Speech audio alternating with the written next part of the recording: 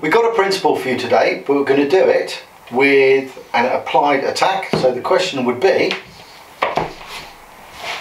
what would, What you, would you do? do?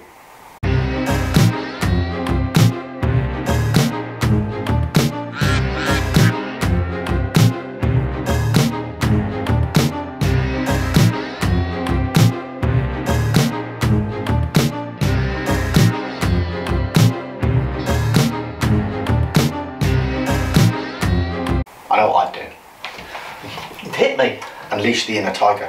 Right guys, welcome to another video. As you can see by the intro, we're changing little things up a bit. Scotch, Working with the format. Scotchy. what I drink. so on this video we're going to deal with an attack and Chris came up with an idea about a month ago. Yes, I didn't see somebody else do this and adapt it at all. But this is, as you know, this is what we do. I saw somebody do something and I thought, hmm, that's given me an idea and I'm going to run with it. So Kev's running on this one. Not Blind. knowing- He doesn't know what I'm going to do. I'm totally blind. I, I know the attack and in my mind I've always I've ordered a box, some cushions and a cuddle pillow. You need some cream as well. So as you can see from the attack, I was coming in, I'm laying a hand. Attacker's mentality, I'm going to use my non-dominant hand so that I can then whack with my dominant hand.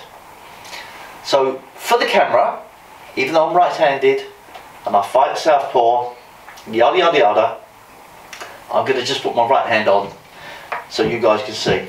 Excellent. And we, this is where I get hurt. we shall arise. Right, I've got myself into an assisted tripod. I've got a bench beside me that's helping me keep a little bit of stability.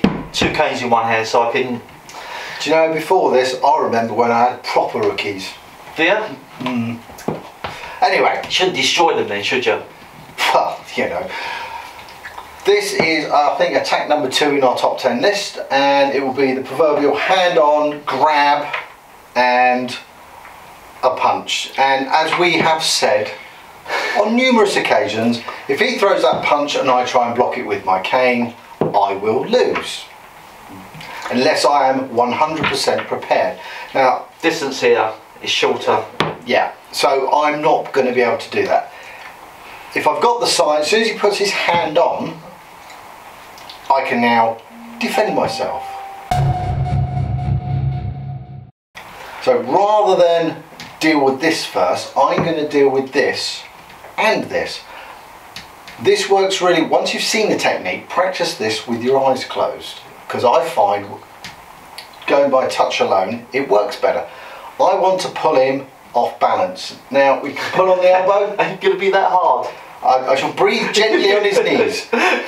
So I can either pull on his elbow, use my elbow to hook round if I was on two canes, like somebody I know, pull down, I'm pulling him down.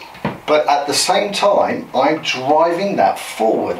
Ow. So That's not gonna be nice. so I'm doing, well, the locomotion really, but it's it's ba- if you consider the basic karate punch, that's all I'm doing. Yeah. So to start with, I'm just pulling and driving. I'm being very careful here because he's a fragile little ferret. I'm a flower.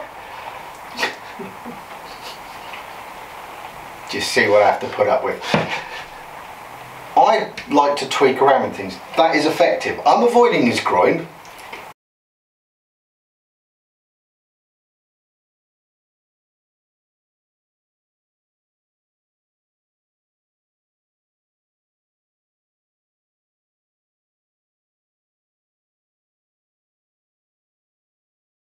So what I'm going to do as I'm pulling, I'm going to rotate my hips into it as well. I've dropped my weight. I can't help but come forward. I know. As soon as the elbow goes down, I'm Yeah, so as soon as he, that is on, I am pulling on that. I'm going, follow the shoulder to the elbow, follow that line. As you know, I like to roll with this. You can push it up, but I can't, you know, I've got. I've got short arms, he's tall. He's the tallest person I know in the shed. So, so I'm going to pull him down, bring him down to my level. I can then well, the weather's nice down here. it is. It's a bit colder down here, I find. I can strike. I can then just start doing all the usual things we like to do, double tapping, Yeah. dragging and striking, all the usual stuff. Technique we did previously. Oh look, one, two, strike, through. Nice. Good way to remember. Yeah. One, two, strike through. There you go. I could turn that into a song. Right. Ah. It doesn't matter. I'm just looking for the, if his arm's locked out straight, Oh God.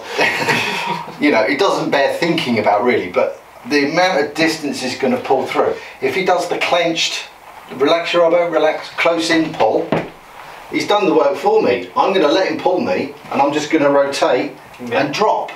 I'm using him as my support. Actually, I'm using you as my support at the moment. We like to support each other on this channel. Yes, Please please support us by link, the, clicking the like button. Oh, you know what to you know the drill. so you can let go now. I know it's very friendly. So all I've done is this. Now this, I've tried this, I've blocked with this. That is very, very stable. I've had people hit me with bows and joes to test it. Yeah, that's not going anywhere. So I'm driving that through. Ha! Look at that, it went. No ferrule, you see. Now, this is why I've got ferrules. If you have a cane with no ferrule outside in the UK, that is kind of then classed as a weapon. Yeah. So you must have a ferrule. But because we're training, it will slide off and not stick. Yeah. Though Kev is very sticky, Missed your hat. I know. So we have this motion and then I'm turning, dropping, using that for stability and that gives me the, I wouldn't say the edge, but it gives me something. As you know, techniques are messy in real life. So it's going to be adrenaline, everything's going to go through your head. Oh, you got pointy ones. I'm going to change my cane because the difference for two cane hmm is going to be nasty.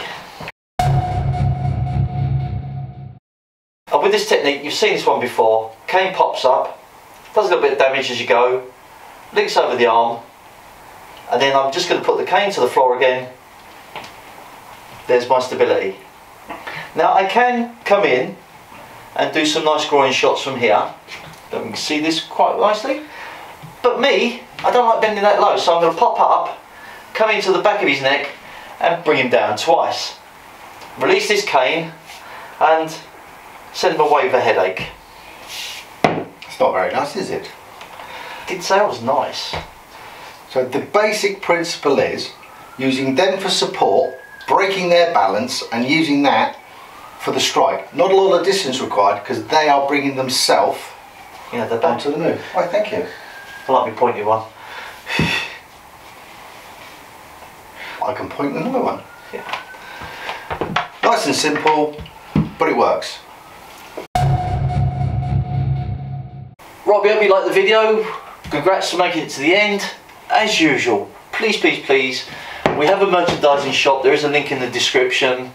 Um, all proceeds go to keep this channel going, which is getting a little bit hard, to say the least. Yes. Drop us a line. It fools the algorithms to say that uh, we're actually popular. Thumbs up will do the same. It's very aggressive, isn't he? Cage tiger. Cage unicorn. Alright, Buttercup, This is his line, he forgets it every time. don't forget to forget. See what I have to work with? Amateurs. Brada said my Hamlet made him weep, and I deal with you amateurs. You make me weep every day. You jealous. Anyway, don't forget to subscribe. Don't forget to ring the bell. Which is, It's over there. It's more dramatic if it's up here.